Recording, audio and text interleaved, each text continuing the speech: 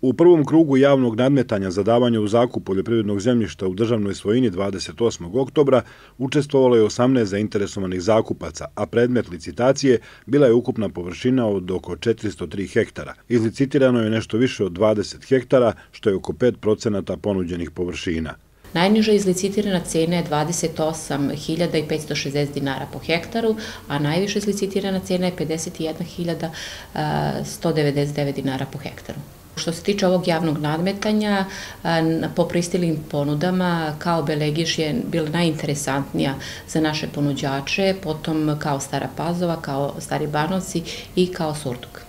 Dragana Stojanović je potvrdila da je slabog interesovanja bilo za zemljište u katastarskoj opštini Golubinci zbog visoke cene zakupa, a drugi krug nadmetanja za koje je ostalo oko 383 hektara bit će održan kada budu potpisani ugovori za parcele izlicitirane u prvom krugu. Zakon o poljoprivrednom zemljištu kaže da 60% sredstava ostvarenih na ovaj način spada u prihod budžeta Republike Srbije, a u visini od 40% prihod budžeta jedinice lokalne samuprave na čijoj teritoriji se nalazi poljoprivredno zemljište. Ta sredstva koriste se za realizaciju godišnjeg programa zaštite, uređenja i korišćenja poljoprivrednog zemljišta. U autonomnoj pokrajini 30% tih sredstava je prihod budžeta Republike Srbije, isto toliko su prihodi budžeta autonomne pokrajine, a 40% prihodi budžeta jedinice lokalne samuprave. Inače, jedinice lokalne samuprave dužne su da ministarstvu dostave izveštaj uplati sredstava ostvarenih od davanja u zakup poljoprivrednog zemljišta najkasnije do 10. novembra tekuće godine.